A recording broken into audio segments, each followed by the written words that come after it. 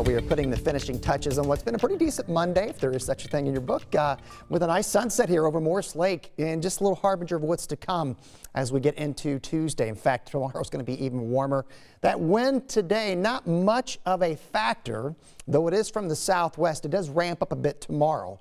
Uh, 42 is our current temp. The wind chill only in the upper 30s.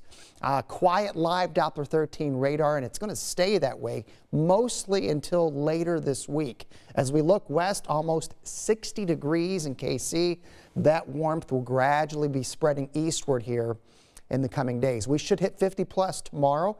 I don't think we hit 60, but we may not be that far from it as we get later in the week. We're going to have one of those west coast storm systems coming through and we could be pushing 60 degrees, but we are going to see temperatures drop rapidly behind a front as we'll go from rain to snow. We'll have all the details ahead, what you can expect for the weekend, the early call on that, and your seven-day forecast here in just a little bit.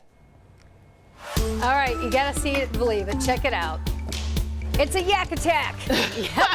Yaks on the loose. These are a shot from Noblesville today. Noblesville police sharing these images at first calling them bison, but no, no, no. We know those hairy cattle whenever we see them. They were spotted near 161st Street and east of Hazel Dell Parkway. We're told that the yaks, don't worry, they're now home safe and sound.